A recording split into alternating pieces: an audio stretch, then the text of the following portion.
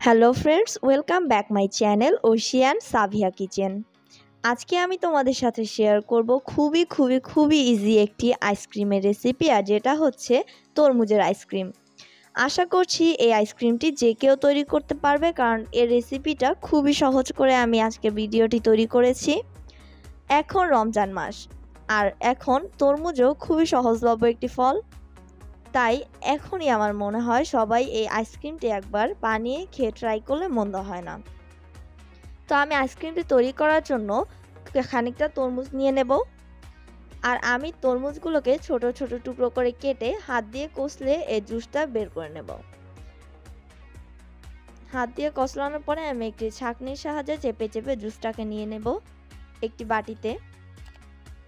এই জুসটা বের করা হয়ে গেলে এর মধ্যে আমি গোল চামিচের এক চামচ পরিমাণ চিনি অ্যাড করে দেব। চিনিটা নির্ভর করবে তোমাদের স্বাদের ওপর আর তরমুজের মিষ্টি কতটুকু সেটার ওপরে। এবার আমি ভালোভাবে জুসটার সাথে চিনিটাকে মিক্স ভালোভাবে মিক্স করা হয়ে গেলে আমি জুসটাকে বিভিন্ন আইসক্রিমের মোলে নিয়ে নেব।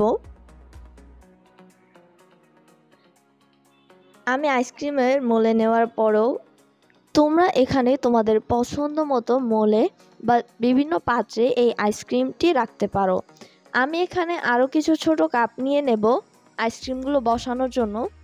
তো আইসক্রিমের মোলে এবং কাপে আমার আইসক্রিমের জন্য জুসগুলো যখন ভরা হয়ে যাবে তখন আমি আইসক্রিম মোলের আইসক্রিমের কাঠিগুলো দিয়ে দেব। কিন্তু ছোট কাপের আইসক্রিমের কাঠিগুলো আমি খানিকক্ষণ পরে দেব। কারণ হচ্ছে এটা এখন যদি আমি দেই তাহলে এটি এক সাইডে হেলে পড়বে, তাই এটাকে আমি খানিকক্ষণ ফ্রিজে রেখে শক্ত, খানিকটা শক্ত হওয়ার পরে আমি এর মধ্যে কাঠিটাকে দিয়ে দেব।